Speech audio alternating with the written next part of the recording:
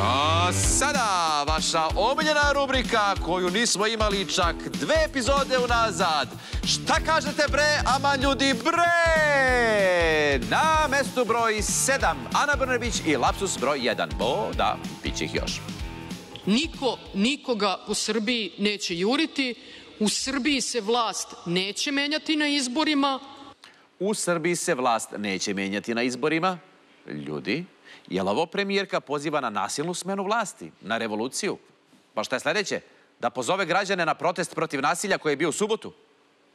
A ima i to.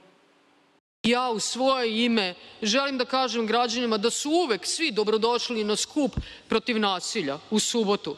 Da svakako sa moje strane ja ću biti tamo, pa zato želim da pozovem građane, jer to je skup koji ja osjećam bliže svom srcu. Pa, ili se Ana Brnabić opet pokvarila, ili pak prisustujemo jednoj njenoj šormalizaciji. Mesto broj pet, Milenko Jovanov je vampir.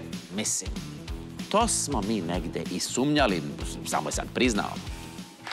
Vas da se plaši. Vas da se plaši. Pa vi ste meni davno obećali banderu i ja svoju banderu mirno čekam. Mirno čekam banderu.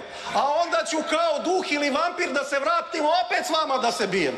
Tako kao duh, kao mrtvak.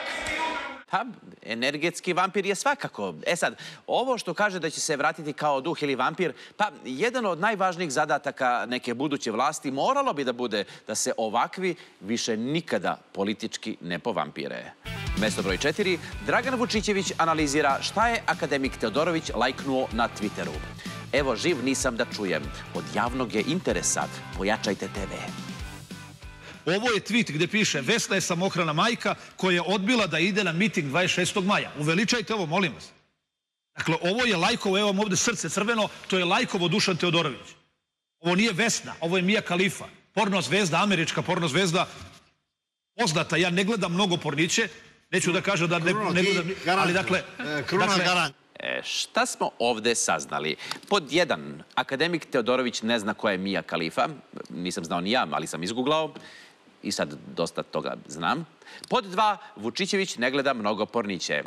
Jer na Pornhubu nema kategorija Vučićevi govori.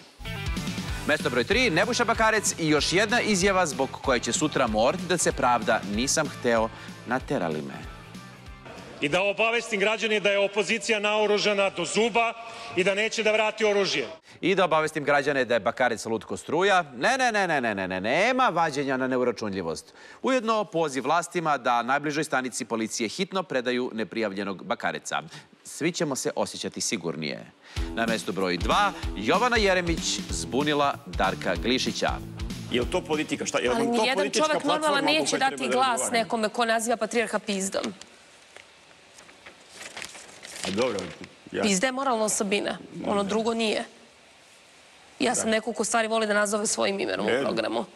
karakterna da vam ne bude osobina, To je neprijatno. Rade Šerbeđ jednom rekao. Tako je, to je karakterna osobina. Da, da. Je li čudno ako kažem da sada osjećam izvesnu dozu empatije prema Glišiću? Mislim, jutarnji program, 9.30, krenulo to nešto što je planirano da se priča tog jutra i onda u trećem minutu gostovanja, bam!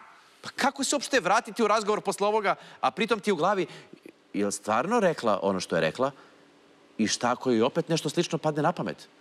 I zato apelujem, povećati dnevnice za sve naprednjake koji gostuju kod Jovane Jeremić. I pobednik ove nedelje, dugo ga nije bilo, ali vraća se kad nam je najpotrebniji i to odmah na prvo mesto je Toma Mona u samoposluzi.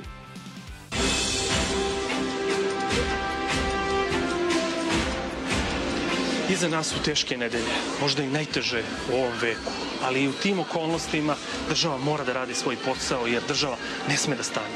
Prethodnih godinu dana bijemo ljutu bitku sa visokom inflacijom uvezenom sa istoka Evrope i danas slobodno mogu da kažem, mi smo to borbu pobedili. Trend rasta cena se zaustavio i cene polako počinju da padaju dole i to ćete najbolje videti na velikom broju akcija u vašim supermarketima. Uskoro će taj trend postati trajan. Dragi prijatelji, prethodnih 10 godina prvi put u istoriji ove zemlje imamo stabilan kurs dinara. Nezaposlenost smo oborili na ispod 10%. Rast plata i penzija je zaista impresivan. Sve to smo zajednički postigli i ne smemo da dozvolimo da to stane, jer Srbija ne sme da stane. Ljudi, da se kladimo da Toma Mona nema pojma koliko koštaju namirnice u supermarketu. Što zaključujemo i po radoznalosti sa kojom ministar pipka ulje i mazi brašno. Kao da je otkrio čitav novi svet. Boje, oblike i nadražaje. Zejtin je. I za nas su teške nedelje, ali i u tim okolnostima ulje mora biti pipnuto. Toma Mona, ne znamo tačno čemu služi, ali uvek izmami osmeh. Bre!